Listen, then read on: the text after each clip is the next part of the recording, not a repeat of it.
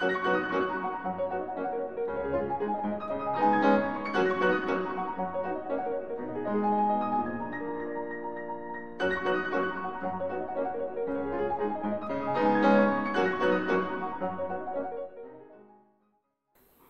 we will start our next session, which is on equivalent system. Okay, so now what is uh, equivalent system? Uh, mathematically, two systems of forces are equivalent if they can be reduced to the same force couple system. So see, so far what we have done, we learned that, uh, okay, there is a force resultant, there is a moment resultant to, you know, every system. So here what we are going to mostly focus is that we do have a force system, let's say. Uh, in a body, we have multiple number of forces or couples, and we want to reduce this force system to a equivalent force couple system. So ultimately, uh, the main point here is that uh, if we look at two force system, they must produce the same push or pull. In physical term, they must produce same push or pull in the rigid body. That means they should have the same resultant force R. Each system must should produce also same turning action. That is in physical term about any point in the rigid body. That is, they should have the same resultant moment couple vector MR. So to do this now, how it is done actually, suppose I have a rigid body and I apply a force F, can I translate this force to a point O? So the ideally, if I want to do this, then I should add a positive force and a negative force and they should have the same direction as that the line of action should be same as that of F. So ultimately now I have a couple F and negative F that will create a couple moment m naught along with the force which is now translated at O.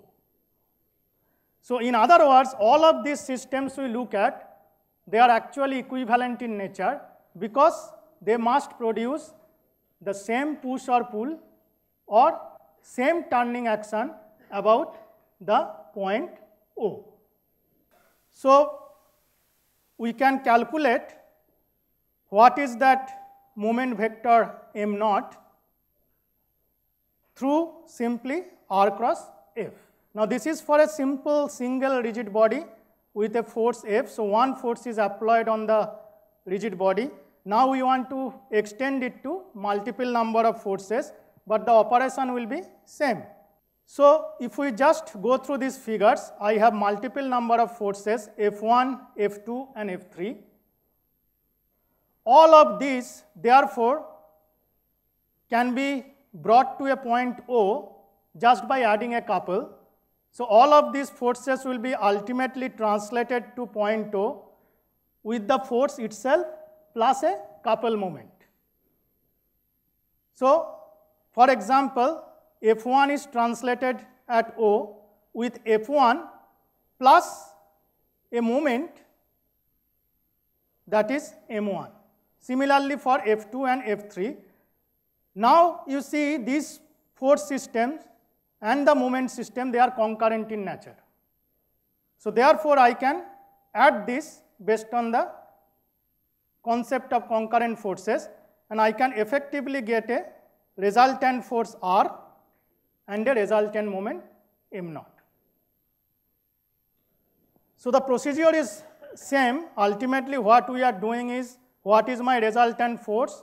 Simply sum of all the forces vectorially. And what is the moment resultant.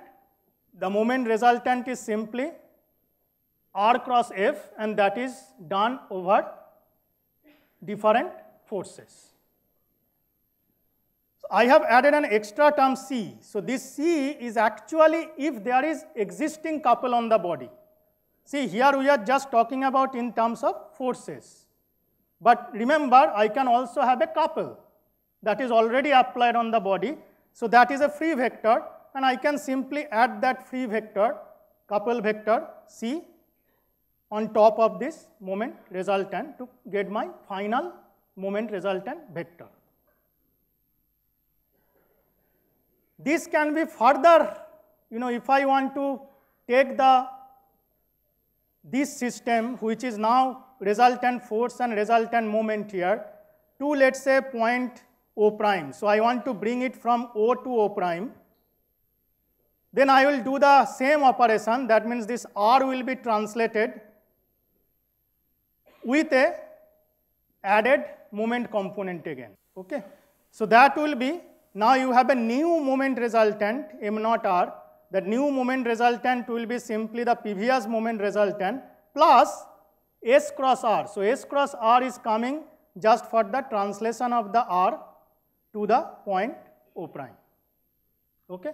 Now, if we really look at pictorially, all of these, whatever is drawn here, they are actually all equivalent system. Okay. So, this is now very interesting that actually what happens in a three-dimensional system of forces, what would be my ultimate reduction of that force system? It can be shown that a three-dimensional force system can be reduced to just a simply wrench. That means just a screwdriver. It will be application of screwdriver. How it is? Suppose I resolve that R and M naught R, right? That is resultant force and resultant moment. Now this can be further reduced. How? Remember, I can resolve the moment resultant along the axis of the resultant and perpendicular to the axis of the resultant of the force. So, m naught can be decomposed in two components. Let us say one is m1 and another one is m2. m1 is that vector is parallel to r along the axis of r and m2 is perpendicular to the r. That can always be done. Therefore, now what I can do, I can simply move this r along with m1 to another point A such that r times let us say OA cross r that must be equals to m2. Okay, so OA cross r that should be equals to m2. So ultimately now if we look at the what it is actually doing in the body should be simply represented by a screwdriver. There is a push, right, as well as there is a rotation, but their direction remains same vectorially. Okay. So, any three-dimensional force system can be reduced to a wrench. Remember, we can further simplify this depending on the type of forces that a body has. Okay. So, for example, I can have a coplanar force system and I can have a parallel force system. Remember, in both cases, let's say consider the coplanar force system where all the forces are applied on the xy plane. So the consequence is that my moment resultant of this system is along z direction that means perpendicular to the plane right okay similarly in this case also if i do r cross f the moment resultant the direction will again be along or on the xz plane right that means ultimately your resultant force and the moment resultant, they are perpendicular to each other. If that is the case, if the resultant and the moment resultant, they are perpendicular to each other, I can simply reduce it by a single resultant force. So operation is quite simple. The idea here would be I have this coplanar force system. First I resolve at point O, right, by a resultant and by a moment resultant. Remember this moment resultant is shown in this way, but actually if you look at the vector, it is moment about the z axis. So vector wise it is along the z axis. Okay. Now idea is how do I replace this moment resultant? I want to take the effect of this moment resultant. Therefore, I will simply move this resultant force to a distance d such that magnitude wise r multiplied by d must be equals to m naught r. Okay. So, as we see here, if I want to do it in rectangular coordinate system as we prefer, we have to do it in a manner that is consistent. So idea is let us say that there is a line of action of r and that line of action of r intercept the x-axis as well as y-axis if I want to find the x-intercept of it, that means the point B, what I will do, I will simply resolve this resultant R into two component Ry and Rx. Rx will not contribute to the moment, right, where Ry will contribute to the moment. So, the x-intercept will be simply x equals to m naught r divided by ry. Whereas the y-intercept will be m naught r divided by rx if I do the same way. So, here I have resolved the forces at C. Okay. So, therefore, the equation of line can be established through this relationship which is x r y negative y r x equals to m naught r. Therefore, my ultimately this force system is now reduced to a single resultant force whose line of action is known and I also know the interception with the x-axis and y-axis. So, logically it is very you know same. So, let us look at a problem. This is a very nice example of a coplanar force system whereby a warship, this is US John Kennedy, this is a warship that is being actually positioned near the dock. So how do you do it? When it comes to the shore or let's say parking area, then we are actually going to you know, help it moving by using the tugboats. The tugboats are going to apply forces in such a way so that this whole ship will be moving to a particular direction. So that means ultimately there will be a resultant force of these three forces that are coming from the tugboat that will help the ship to move towards the shore or parking area. Okay. So let us just try to see this example itself. This is my ocean liner or the ship and there are three tugboats that, that are giving the forces on the body of that ocean liner or ship. So the body is called the hull. So we want to replace these four tugboats by a more powerful single tugboat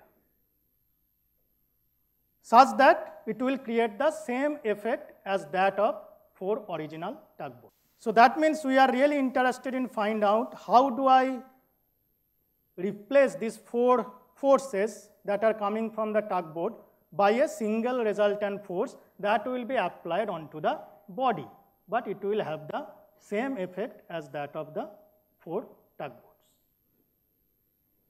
So again the process will be simple. The process will be really fast. find out the resultant force and the moment about O of these four forces. So we will just find the resultant force at O and the resultant moment and then we will simply move the resultant force such that resultant force multiplied by the distance equals to m naught r, moment resultant. So we want to find out the line of action of that resultant force, which is creating the same effect as that of the four tugboats. So first, what is done here, see again, what we you know, uh, try to do, can we guess the answer? I have shown the answer. Ultimately, you can see there are four, uh, there are three forces on the top of the body, right? And just one force here. Okay. So if you look at the direct, direction of the moment resultant, how the moment resultant should look like, moment resultant should be clockwise at O, right? Okay. Therefore, I always have to move it to the right hand side of O, that single resultant force. Also, there are two forces. The action is perpendicular to, let's say, x axis, but there is one force like this and one force like that, tugboat 3 and 4. So, look at what would be the direction of the single resultant force. That will really come into effect based on these two tugboats, their magnitude and their direction. So we can kind of visualize the answer that I am looking at. Okay, I am going to have a resultant force which may look like this, and that will replace the all tugboats. If we go by just the uh, vector uh, algebra, so we have the capital R, that is the resultant force. So resultant force is simply sum of all these four forces and the resultant moment is done again at O that is through R cross F which you have to calculate. Now you can either follow the R cross F or you can go component wise. For example, what is the moment produced by the tugboat at O? Simply equals to the force here multiplied by this distance but we have to put a sign should be negative sign. Okay. Similarly, we can break this one into two components, x component and y component, and we can look at what is the moment is being produced at O. So x component should give me x component multiplied by this distance, which is 24 meter. There I have to add a negative sign, and the y component will also give the moment which will be negative in nature. Okay. So like that, once we get the R and M naught R, then we can easily calculate what is the x intercept. x intercept is nothing but M naught R divided by Rx, right? And y intercept is similarly M naught R divided by Ry. So once we get this line of action, then we can actually point out that okay, what, where it is going to intercept at x and where it is going to intercept at y. Now that did not solve the problem yet. It is just the line of action. I want to find out where on the body where it is going to be applied. Now to do that, remember there are two cases can happen. One is that R can actually act right here, right? On that horizontal line of the body. Or R can act also at the inclined portion of the body. Therefore, now I have to say, okay, what is the equation of line for this and what is the equation of line for that and I have to find the intercept of this line with those lines, right? So, Equation of Hull can have two choices. One is the inclined portion, that means y equals to x mx, and the other one is the horizontal line where y equals to 24. So I will try this. So I will simply take this and substitute this y in this formula, right, to get what is my x. So if I do this exercise, x is going to be equals to 82.58 meter if I substitute this equation of, if I give this y. Now that tells this is greater than 64 meter, okay. So that answer is not possible because it is greater than 40. So therefore, try with y equals to 24. Now I can get a value of x, that x is equals to 88 meter. Okay. So ultimately, the point of application of the R will be not on the inclined portion, but on the horizontal portion of the body. So let's move uh, to the next part of it. So that's how we do the uh, coplanar force system. Let's come to the parallel force system now. As we said, parallel force system can also be reduced to a single force. Now how we do that? Uh, again, simple logic that, again, I have taken everything here in a positive sense. So let us assume that resultant and the moment resultant, you know, uh, will look like this.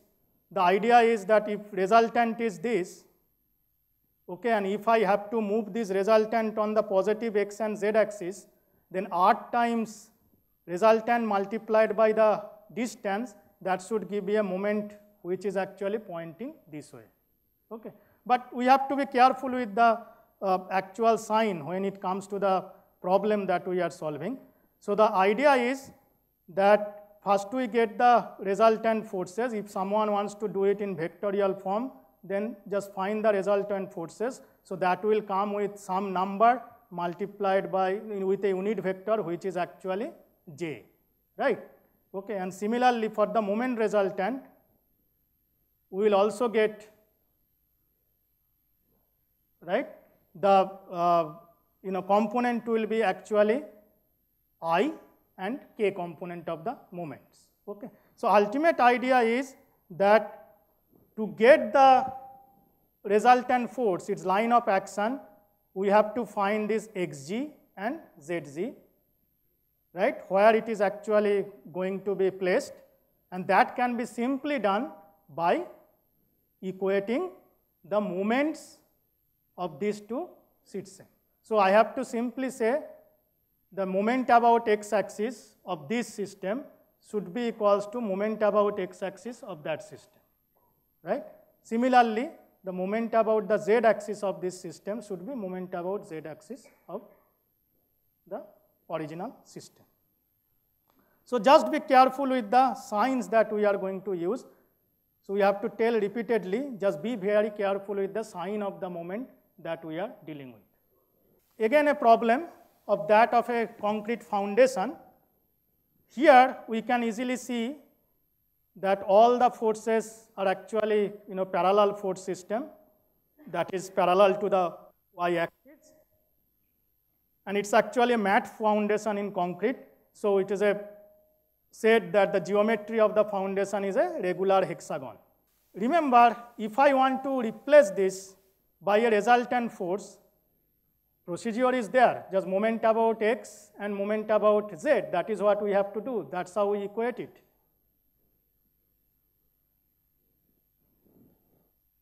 Can anyone guess the answer? At least let us try to find out what would be, whether it is in the positive coordinate, negative coordinate, and so on and so forth for the x and z. Someone said negative z. Anything else? Positive x. Okay. Let's see if we are okay with that. So negative z and positive x is the answer. Okay, and very quickly that is a, a feasibility because the higher concentration of load, if we look at it, that is actually in the positive x direction, right? So therefore, this has to be positive x. And now these two loads are along the x-axis right? Therefore, in the, when we talk about moment about, you know, x-axis, right, these two are not coming into play. Ultimately, moment about x-axis will be contributed by these two loads and higher concentration on 60 kilonewton side, right? So it is negative z.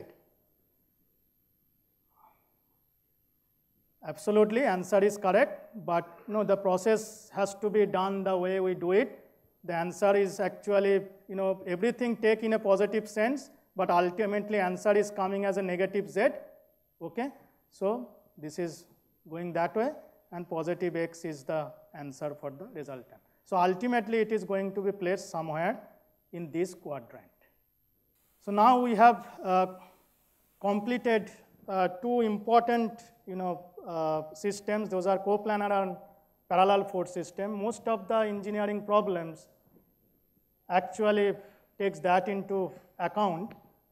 Now we are going to go through the distributed force and how to reduce that to a single force.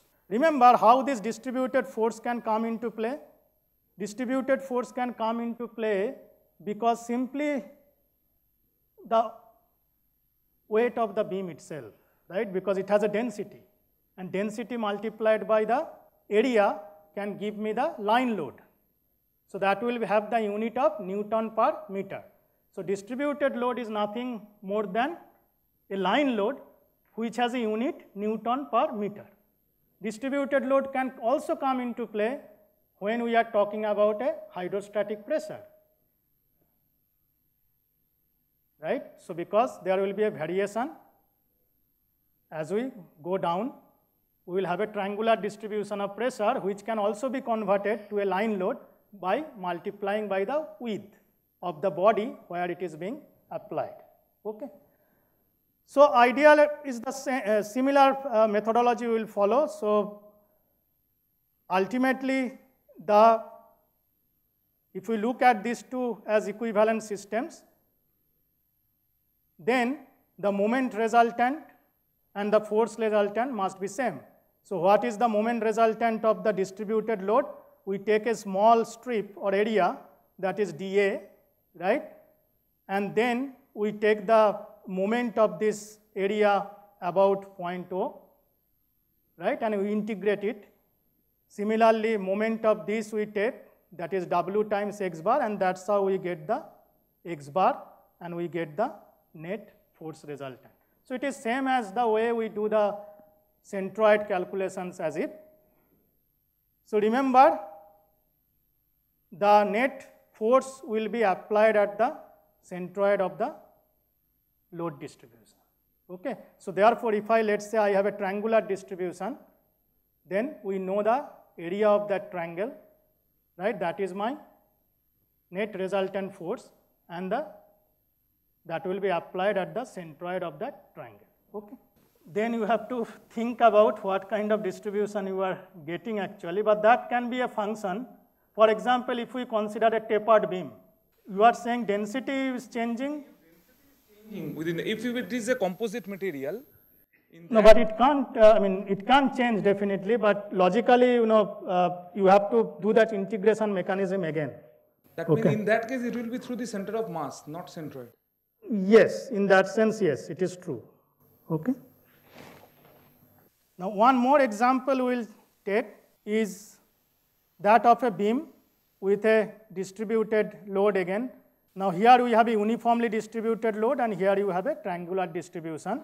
So ultimately we want to replace all of this by a resultant force, make sure there is a couple moment also, right? So that couple moment is not shown how it is com coming, but let's say there is a free vector which can be added anywhere. So this is really a couple, okay? So the first step to do this problem is that we break it into two parts. Let us try to just find out what is the resultant of this uniformly distributed load and the triangular load. So we break it into two parts and we find where the resultant force of these two systems is going to be. So ultimately the distributed load is replaced by a single resultant force. That resultant force is 180 Newton and it is going to be placed at 7.33 meter, right? And then we also have the 100 Newton and we also have the couple moment. Now we are looking at a system which has three, two concentrated forces and a concentrated moment. I won't say it's a concentrated moment, rather it's a free moment applied anywhere in the beam. So again, just you know, we want to create the equivalent system. So get the resultant force and resultant moment about point O, and therefore we can get the centroid x bar, which is at 4.7 meter. So that is the application of the total resultant force that we are getting from this kind of force system. So this and that now is equivalent system. A hydrostatic pressure. So once we uh, look at problem involving you know dams and also in mechanical we have valve of different shapes and sizes. So there we can see the pressure distribution is going to be triangular and make sure we tell also that atmospheric pressure let's say equals to zero that we assume and we have this pressure distribution. The pressure distribution will now be converted to a line load by multiplying the pressure with the with B of this dam. Let's think of a plate, just a rectangular plate. So basically our Wx in this case will be rho g d minus x, that's the pressure multiplied by the width, right? Now why it is, where it is going to be applied, the resultant force that we all know, now it is simply the centroid of this triangle, right? And the resultant is simply going to be the area of the triangle. One can also adopt the integration procedure, but that is not necessary. We will assume at this point that students are familiar with you know, what is the center and uh, so on. Okay. So now we are going to just exercise this problem. Problem of a hydrostatic pressure, whereby we have an automatic valve. This valve consists of a rectangular, uh, sorry, square plate 225 mm by 225 square plate. That plate is hinged here, okay? And we keep filling the water. What is being said? Determine the depth of water D for which the valve will open. So we want to find out what is the depth D for which the valve is open. Remember, here we are not studying equilibrium yet. So everything has to be in terms of where the resultant force is going to be. Okay. So if there is a hinge here, right? Then the resultant force should pass through the hinge. It, is, it has to be just slightly above the hinge. So in limiting condition, what we know is that condition is that resultant force, must pass through the. Now the problem is not you know, uh, simple yet because I have to really look at the solution systematically. Now what is necessary uh, to understand that as I keep filling the water D, three situations can happen.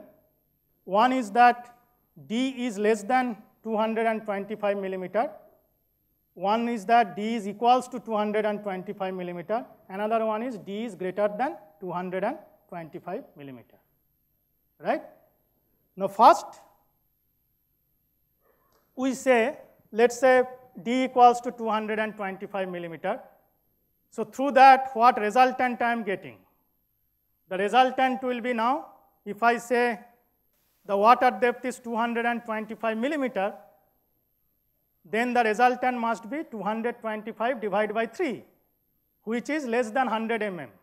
So that cannot open the gate, right? So therefore, water depth must be above gate or the edge of the plate. Okay. So the first part is that we just quickly tell they, that if the D is up to the edge of the plate, then the resultant is never going to be 100 millimeter. The resultant force, because that is going to be 225 divided by 3, which is less than 100 mm. So therefore, my depth has to be actually higher than that of the edge of the plate. So now what we do is, as we understand that depth is actually going to be the uh, top of the uh, you know uh, valve or edge of the plate. So we can quickly uh, go through this. Ultimately, so in this valve is going to see a trapezoidal pressure distribution. See, ultimately it is going to be a trapezoidal pressure distribution. If someone knows what, where is the centroid of a trapezoid, he or she can calculate that easily, right? So therefore, condition would be that, you know, we know the area of this trapezoid, we get the resultant force, right? We also know the, the centroid of the trapezoid that can be equal equals to 100 mm and we can get the answer for the depth because depth is the unknown. The other way around is that we just follow the integration approach. So in the integration approach, what we adopt is this is the condition we have, right? And then we have alpha equals to m by r. Now this alpha is actually x bar, so x bar equals to 100. So ultimately, if we do this operation with d unknown, then we are going to get the solution for the d. Okay, so d will be ultimately equals to 450 millimeter. So in this integration, when we are doing, make sure that integration limit is from 0 to 225 millimeter because that area that we are looking at that is only happening uh, this pressure is only acting on the valve. Now here we have actually you know some kind of wall which is assumed that it can take any amount of load. Okay. So ultimately we are interested in how the valve is open. Right? Take the same problem, let's say we take the same problem, but in this case what we are going to do we are simply, instead of taking a rectangular plate, we are simply make it triangle. Once we make it a triangle, what changes? Remember, pressure distribution is same, rho g d minus x, right? But what will be changing is the line load. Because line load is now multiplied by the width. That's how you get the line load, from the pressure to the width. Now here, width is varying quantity right? So we have to find out what is B, let's say, the width of the plate at a distance x. Okay. Now since both, now this is isosceles triangle, so we have B must be equals to x, right? So where is the, how, how the line load should look like? So line load now, if we really look at line load will simply be a parabola. This is a very important fact that since line load is now a parabola, so the cent centroid should be the at the middle. Okay. So if we just tell this much that we are not now now we are really not going to go through any kind of you know operations on let's say integration operation. Only thing is that we find out what is the line load distribution. And from the line load distribution, we can clearly say that where is the centroid. So ultimately, what answer I am expecting for this problem? Anyone? What would be the answer for the depth? See, remember my resultant has to be passing through the since the resultant has to pass through the 100 mm, right? And line load distribution suggests it's a parabola where the resultant is going to act at the centroid of the parabola. Therefore, the actual height necessary is simply 2 times 100 that is 200 millimeter. Now, student can actually scratch their head and go through all the integration procedure and so on and so forth, but is that really necessary? That is not necessary. As long as we have a visual feedback immediately through this simple calculation, that this is going to be the parabolic distribution and parabolic distribution should have a resultant at the centroid of it. So now what is done in this one is uh, just you know similar way that uh, if, if, if a student cannot guess that at the beginning, so what he or she is going to do basically try to adopt the integration procedure which is going to be very very lengthy. So he or she just make take okay depth of the water is below the gate level do one integration, find out where is the resultant. Then again you take the you know depth to be higher than that, find out where is the resultant. That is going to create more complexity in the problem. So simple answer can just be done based on this line load. How do you convert the distributed, you know, how do you convert the actual pressure distribution to a line load? I think we have completed this uh, lecture. So it has three parts. uh, parallel force system, coplanar force system, and hydrostatic distribution, hydrostatic load. uh, the zone be- below the uh, hinge, there will be another force acting. No, but see, that is a good question, but that comes into play when we are talking about equilibrium. Now here, what we said, we are trying to simply look at when the gate is, uh, gate is trying to just open. When, sir, it will break the equilibrium, then the gate will open. When the gate is trying to open, what will be the force here? The force has to be, support reaction has to be equals to zero, Huh. right? So that is the problem we are studying. Okay? But this lower uh, force So, will not if the lower is the depth, the gate can't open. Because as long as the reaction is below this level, right, the reaction will be balanced by the force here, Hmm. right? Support reaction here. So the gate cannot open. As soon as the resultant force just goes above the point A, then reaction has to be equals to zero. Reaction from this particular point B. Okay? Okay.